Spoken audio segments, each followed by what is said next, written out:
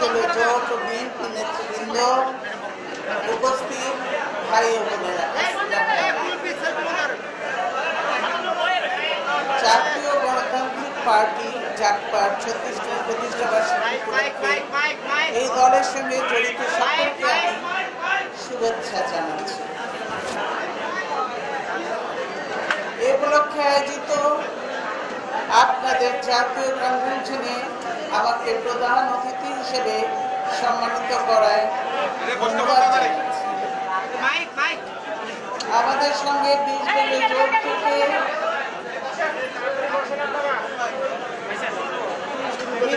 জোট থেকে জাকপা দেশের গণতন্ত্র পুনঃপ্রতিষ্ঠান এবং জনগণের অধিকার কায়েমের সংগ্রামে সাধ্যমতো ভূমিকা পালন করে যাচ্ছে। আপনাদের দলের নেতাকর্মীরাও তারা নির্যাতন জেল জুলুম অত্যাচারের শিকার হচ্ছে। দল হিসেবে জাকপা ছোট হতে পারে, কিন্তু দেশ জাতির সংকটের সময় আপনারা যে দেশপ্রেম ও সাহসে পরিচয় দিচ্ছেন, তা গণতান্ত্রিক আন্দোলনের ইতিহাসে উজ্জ্বল হয়ে থাকবে। আমি আপনাদেরকে ধন্যবাদ জানাই।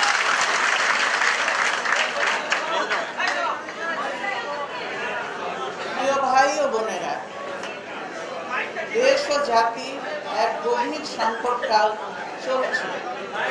দেশে গণতন্ত্র নেই জনপ্রতিনিধিত্বশীল সরকার নেই, বৈধ সংসদ নেই, তথাকথিত সংসদে কোনো কার্যকর বিরোধী দল নেই, নির্বাচনী ব্যবস্থাকে প্রহসনে পরিণত করা হয়েছে। আজ বাংলাদেশে সুশাসন নেই সুবিচার নেই রাষ্ট্রীয় প্রথা প্রতিষ্ঠানগুলোকে ধ্বংস করে ফেলা হয়েছে। আইনের শাসন নেই ও কোনো মানুষের নিরাপত্তা নেই। সরকার কাউকে কোথাও কোনো নিরাপত্তা দিতে পারছে না। তবুও দাবি করছে পরিস্থিতি স্বাভাবিক। যা কিছু ঘটছে তা সব ঘটনা অন্যদিকে আইন শৃঙ্খলা বাহিনীগুলো স্বাভাবিকভাবে আইন অনুযায়ী তাদের কর্তব্য পালন করতে পারছে না। তাদেরকে রাখা হয়েছে শুধু গণবিচ্ছিন্ন ও অবৈধ সরকারকে জনগণ, জনগণের ক্ষোভ থেকে রক্ষা করা। তারা সাধারণ মানুষের উপর নির্যাতন চালাচ্ছে।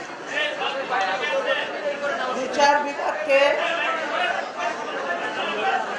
বিচার বহির্ভূত ভাবে যাকে খুশি তাকে হত্যা জোর করে ধরে নিয়ে গিয়ে গুম ও খুন করে ফেলা হয়েছে।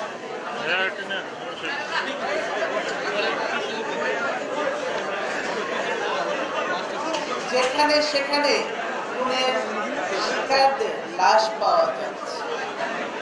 অনেকের লাশের সন্ধানও মিলছে জুলুম নির্যাতন গ্রেফতার হামলা মামলা চলছে বিরোধী দলের নেতা। অনেকে দীর্ঘদিন ধরে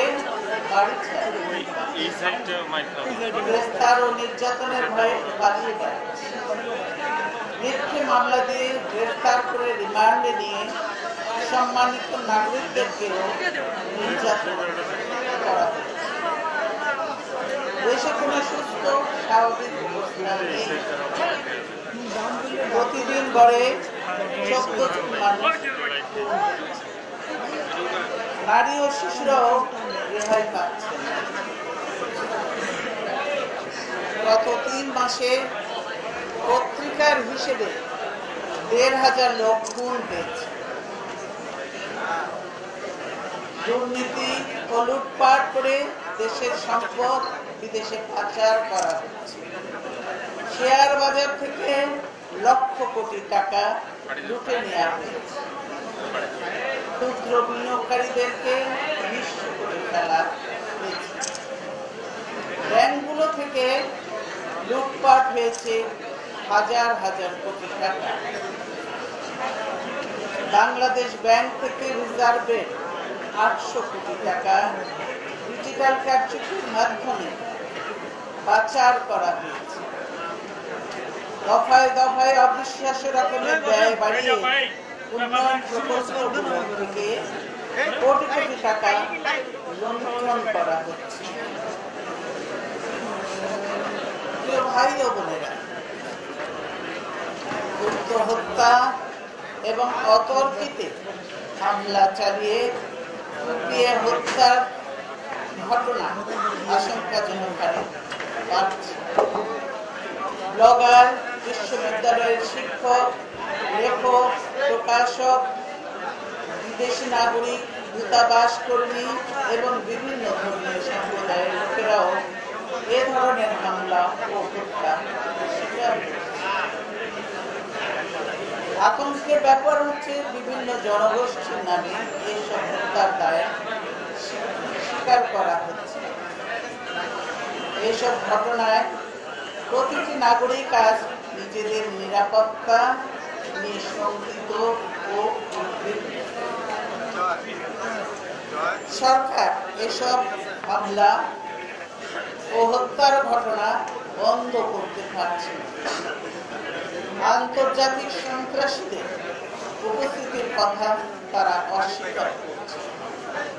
কিন্তু প্রকৃত অপরাধীদের শনাক্ত ও বিচার নিশ্চিত করতে পারছে বরং তারা এর দায় দায়িত্ব চাপাচ্ছে বিরোধী দলের উপর এতে তদন্ত প্রভাবিত হচ্ছে এবং প্রকৃত অপরাধীরা আড়ালে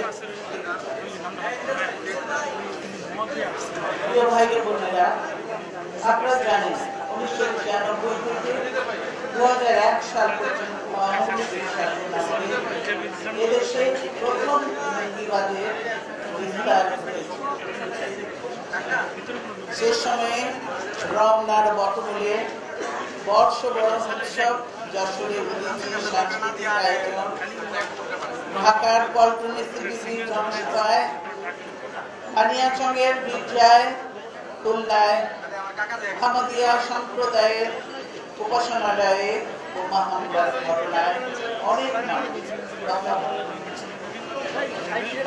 প্রকৃত সন্ত্রাসী ও জঙ্গিদের আড়াল করে আওয়ামী লীগ দায় চাপিয়েছে বিএনপি ও বিরোধী দল। আমরা নির্বাচিত হয়ে সরকারে আসার পর জঙ্গিবাদী তৎপরতাকে কঠোর হাতে দমন করেছে। জঙ্গি নেতাদের গ্রেপ্তার ও বিচারের আওতায় আনা হয়েছে। তাদের নেটওয়ার্ক সম্পূর্ণ অকার্যকর করে ফেলা হয়েছে। আজ আবার সেই জঙ্গিবাদের উত্থান আলামত দেখে আমরা দেশবাসীর সঙ্গে গভীরভাবে বর্তমান সরকার এর দায় এড়াতে পারে না।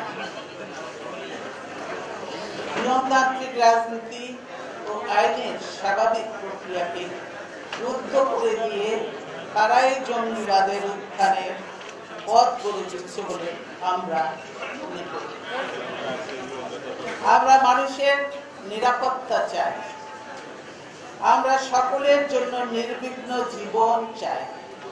আমরা মনে করি সেই নিরাপত্তা সরকারকেই দিতে হবে। বর্তমান সরকার বৈধ নয়, কিন্তু রাষ্ট্র ক্ষমতা তো তারা অবৈধভাবে দখল করে কাজেই নাগরিকদের নিরাপত্তা দেওয়ার দায়িত্ব তাদেরকেই পালন হবে। তারা সেই দায়িত্ব এড়া- এড়িয়ে চলেছে। তারা বলছে, সকলকে নিরাপত্তা দেওয়া সম্ভব। এ কথা বলে এভাবে দায়িত্ব এড়িয়ে কারও ক্ষমতায় থাকার অধিকার থাকে না। ভাই কোন শ্রেণি পেশার মানুষ আজ ভালো নেই। কৃষকেরা তাদের উৎপাদিত পণ্যের ন্যায্য দাম পাচ্ছে না। অথচ তাদের উৎপাদন খরচ কয়েক গুণ বেড়ে নিত্যপণ্যের দাম হু করে বেড়ে যাচ্ছে। কোথাও কোনো নিয়ন্ত্রণ। সীমিত আয়ের মানুষ দিশেহারা বিদ্যুৎ খাতে দুর্নীতি ও অবাধ লাইসেন্স দেওয়া তারপরেও ভয়াবহ লোডশেডিং এ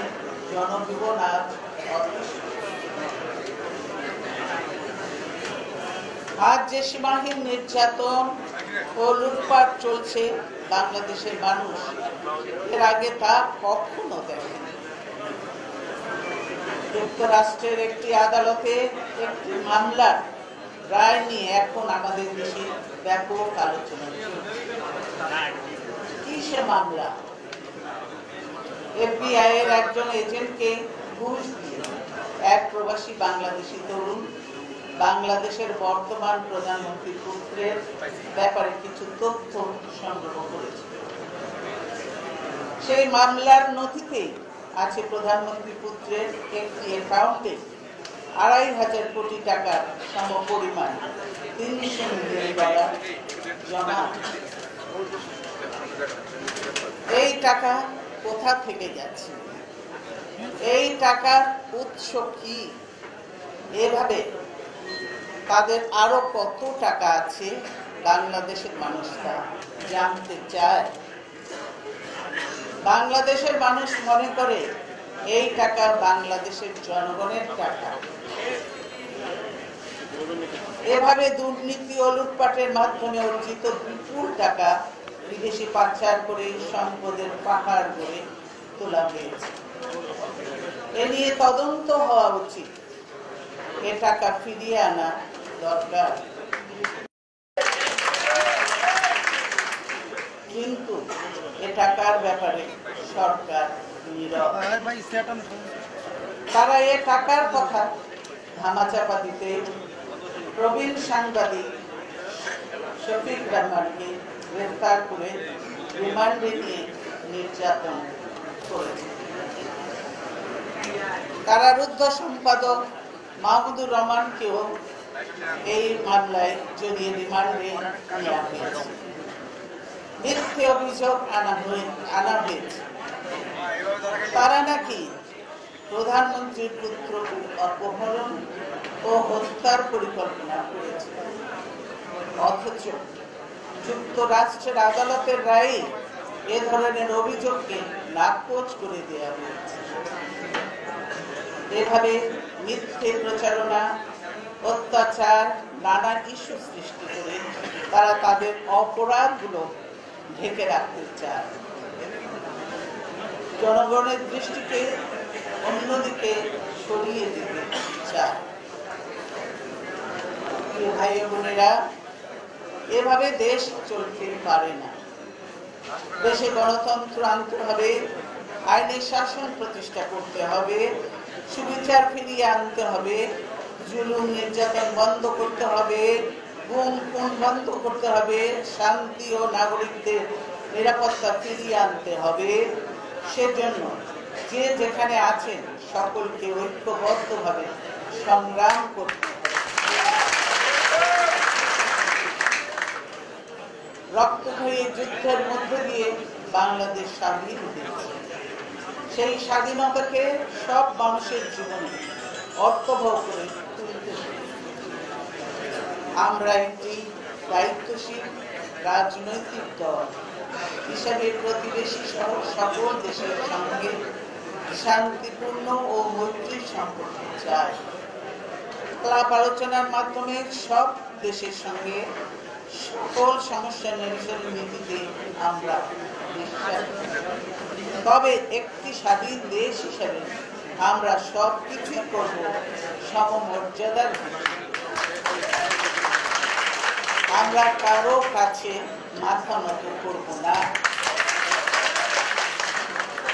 বর্তমান ক্ষমতাসীনদের কোনো গণভিত্তি নেই। জনগণের মধ্যে তাদের কোনো সমর্থন নেই। তারা, তাই তারা অন্যের শক্তির উপর ভর করে দেশের মানুষকে পদানত করে রাখতে চায়। এভাবে বেশি দিন চলা যায় না। আমি মনে করি, বর্তমান শাসকেরা এভাবে বেশি দিন ক্ষমতায় টিকে থাকতে পারবে। তাই তাদেরকে বলব, দেশের মানুষের উপরে নির্ভর করে। দেশের অভ্যন্তরে যে সংকট সৃষ্টি করেছেন তা দেশের ভেতরে আলাপ আলোচনার পথে নিরসন সময় দ্রুত বয়ে যাচ্ছে আর সময় ক্ষেপণের চেষ্টা করবেন কথাটুকু বলে আজকে আপনাদেরকে সকলকে ধন্যবাদ জানিয়ে আমি আমার বক্তব্য শেষ করছি আপনাদের ধন্যবাদ